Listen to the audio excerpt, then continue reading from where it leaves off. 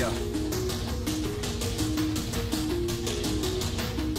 I wake up every morning with my head up in a daze. I'm not sure if I should say this, fuck, I'll say it anyway. Everybody tries to tell me that I'm going through a phase. I don't know if it's a phase, I just wanna feel okay. Yeah. I battle with depression, but the question still remains Is this post traumatic stressing or am I suppressing rage? And my doctor tries to tell me that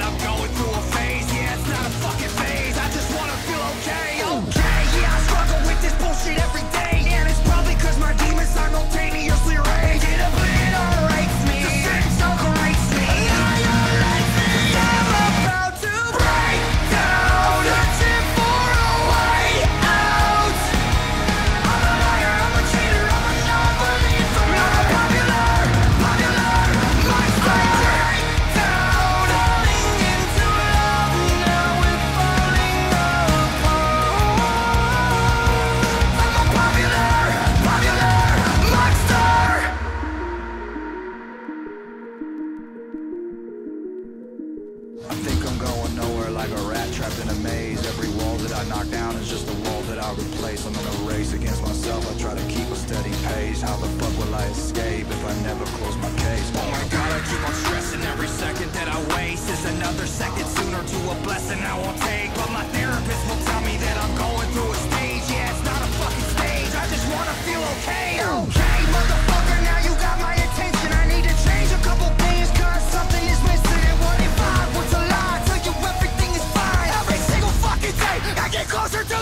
I am